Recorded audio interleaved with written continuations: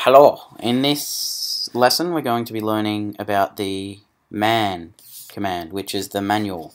So if we type man at the moment, it'll ask what manual page do you want?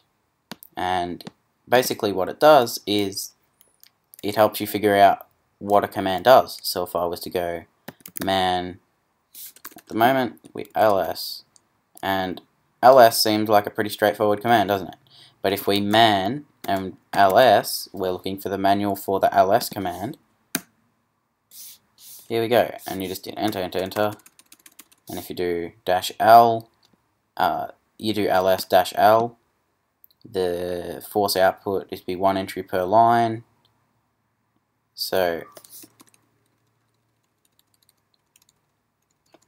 if you just read through these, oh, and this will work for any command.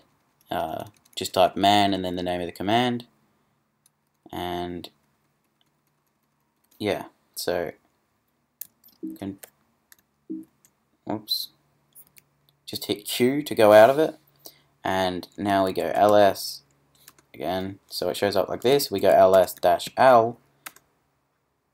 It goes shows them all on one line and it's got the details for them which is exactly what it said in the man page. So we could also man the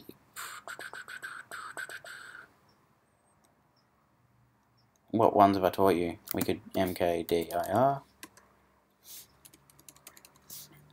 so you could do and remember all these it it shows what you need to do for it. So if you go mkdir dash m, it does this.